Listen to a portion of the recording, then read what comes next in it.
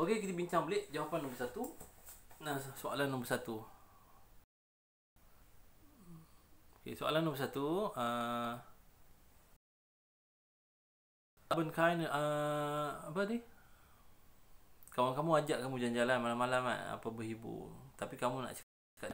Jawapan nombor satu. Ish, Abang Hoiter, Abang Kain Lus. Malam ni saya tak mood lah. Ha. Agak-agak tu hoflish ke tak? Hoflish tu apa? um, beradab ke tidak? Kan jawapan nombor dua ich muss morgen sehr früh aufstehen tak boleh saya esok pagi kena bangun awal. Ha, gagak itu sesuai tak? Ha. last kali ich habe seit heute früh durchfall daripada pagi tadi cukup birit je. Ha. menipu ke apa tak tahu lah saya sakit perut. Ha, ada cukup birit daripada pagi tadi. So jawapan dia apa? Jawapan yang kedua yang betul. Ha, esok pagi saya kena bangun awal. Ha, macam bagi alasan lah cakap baik-baik kan. Ha. So, soalan nombor dua. Mana satu yang dianggap bukan hobi? Jawapan nombor satu. Fotografi kan. Tangkap gambar tu hobi ke tak? Ha.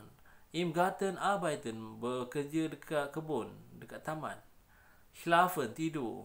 Ha, mana satu bukan hobi? Jawapannya tidur. Tapi kalau tanya budak-budak was ist dein Hobby? Schlafen, schlafen. Okay, nombor try. Sie möchten lernen ein Musikinstrument. Kamu nak belajar musik instrumen terbaik dengan siapa? Dekat eine Volkshochschule. Volkshochschule ni macam sekolah teknik. Ha, nombor dua, an eine Musikschule. Dekat sekolah muzik. Ha, sana ada sekolah muzik khas. Yang ketiga, an einem Konservatorium.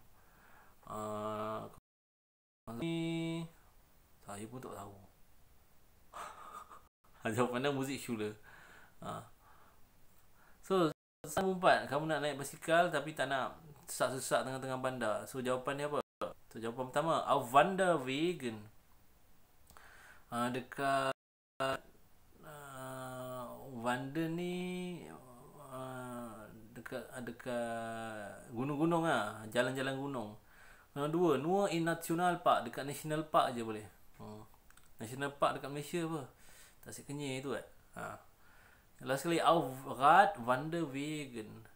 Ha, ha, dekat jalan-jalan gunung yang khas untuk basikal. Ha, so berapa sekali bawa sekali lah. Ha.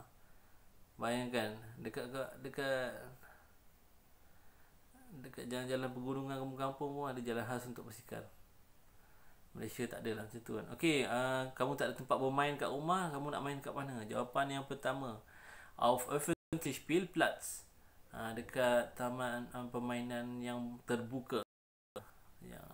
Nombor dua, das geht nur außerhalb der Stadt. Itu hanya boleh dibuat di luar uh, dekat luar luar luar pekan. Ha, boleh main kat luar pekan je, luar bandar. Kalau nak main main kat luar bandar macam itulah. Auf dem Parkplatz ihres Miethauses. Dekat uh, tempat parking kereta jiran-jiran kamu je kamu boleh main. So jawapan dia apa? Jawapan dia yang first lah dekat Öffentliche Spielplatz, taman permainan terbuka. Oh nombor 6. Nombor 6 ni kat luar rumah kamu ada kedai-kedai permainan. Ha, permainan permainan kan. Nombor, jawapan nombor 1. Here werden Karten Spiele gespielt. Ha, dekat kedai-kedai permainan ni akan main kad. Nombor 2. Here give us online spiel. Ada permainan online. Ha, macam CC tu kot. Nombor tiga, here give us automaten spiel. Uh, here dekat dekat kedai-kedai permainan ni ada automaten spiel. Tahu tak automaten spiel tu? Permainan automatik apa? Jawapannya itulah permainan automatik ni judi. Ha, kat Malaysia ada dekat Jerman ada judi. Kalau ingat tempat mainan tu bukan mainan tu orang main judi. Orang tu tu main judi. Okey, uh, ni yang main dekat tasik yang dah beku ni kan. Jawapan pertama Das Wetter kal bleibt Nak kena pastikan sebelum Sebelum kau lompat dekat ais yang sejuk Apa Dekat kola uh, Dekat tasik yang dah beku tu Jangan main lompat je Takut belum cukup sejuk. Kena pastikan Das Wetter kal bleibt Kena pastikan cuaca sentiasa sejuk. Ha, Dia tak ada Nanti dah panas sikit kau terjun ha, Tenggelam meninggal Der See offiziell freigegeben ist uh, tasik tu dah dibenarkan masuk ha last kali as vielleicht ein privat see kena pastikan sama ada tasik ni uh, hak milik milik private ke ataupun milik awam. So jawapannya yang kedua pastikan official dah dibenarkan untuk dimasukkan. Okey. Uh, last uh, nombor 8. Ni taman. Apa benda yang kita boleh buat kat taman dibenarkan. Yang pertama Honda Frei Lassen. Honda Frei Laufen Lassen. Kita boleh benarkan anjing kita berjalan bebas. Orang Jerman ni suka bawa anjing kan jalan-jalan petang, pagi, ada je anjing kan. Dia bawa. Ha, kalau anjing pun kalau duduk rumah je dia stres. Ha, ha, sebab tu dia orang pun bawa jalan anjing.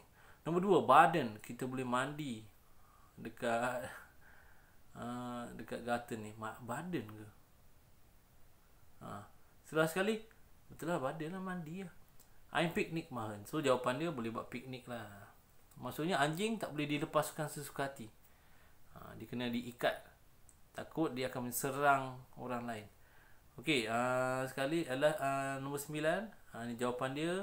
Uh, dekat Hamburg mana nak pergi main ski? Dekat Harz. Tempat yang paling dekat saya pun tak tahu. So last sekali. Uh, nak tengok wayang bila paling sesuai? Dekat pada hari. Terus sekali. Kino tak pada hari kino. Pada hari wayang. Yang kedua, Anden Zontak nah minta pada hari Ahad malam jadi murah. Uh, last kali Indian Shul Ferian pada cuti sekolah. So jawapan dia am kino tak.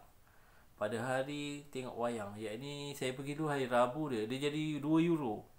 Ha, instead of kamu kena bayar 8 euro ke 7 euro. Kamu boleh bayar 2 euro je. Kalau tunjuk student card lagi murah. Lagi murah ha. 2 kali 2 euro kali 5 ringgit sama kan baru RM10 lah. Kalau 7 7 euro kalau harga biasa 7 kali 5 berapa? Ha, okey, mahal lah kan. Okey, itu saja untuk hari ni untuk tahun ni. Ha, minta halal lebih kurang kalau saya tak masuk kelas ke apa ke.